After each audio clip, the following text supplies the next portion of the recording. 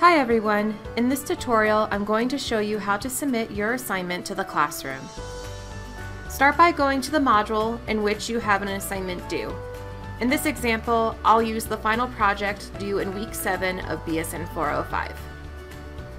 You'll then scroll down to the bottom of the page and you should see a submission status area for the assignment. To upload your assignment, you'll click on Add Submission. You'll then be taken to a page to attach your assignment. You'll see in the upper left-hand corner an icon that appears to be a sheet of paper with a plus sign. Click on the icon and this will open the file picker.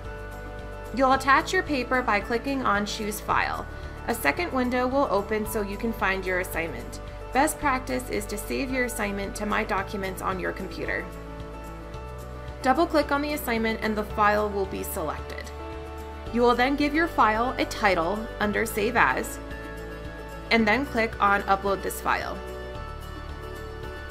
You should then see the icon of the file in the Upload box section. If you are happy with the files you have selected, you'll then click on Save Changes.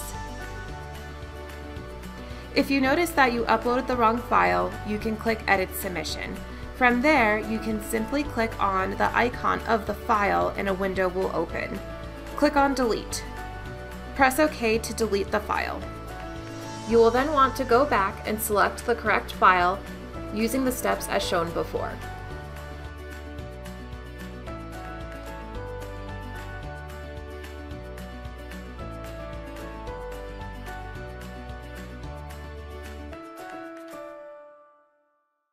You'll then be sent back to the submission status page. You'll see that your paper is in draft status, not submitted, and you'll see your files attached. You'll also see a Turnitin status as queued. This Turnitin status will generate a percentage based on the originality of your paper. You'll want your score below a 20%. As long as you are citing your references appropriately, you should generate a low score. If you wait for a score to generate before submitting, you'll want to be mindful of fully submitting your assignment once you get the score. Otherwise, if you feel confident with your work, go ahead and press Submit Assignment. The next page you'll see will have this message. Are you sure you want to submit your work for grading? You will not be able to make any more changes.